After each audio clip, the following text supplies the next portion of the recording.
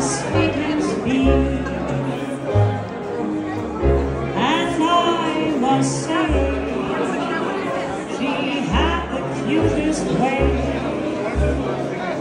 Made a call on her.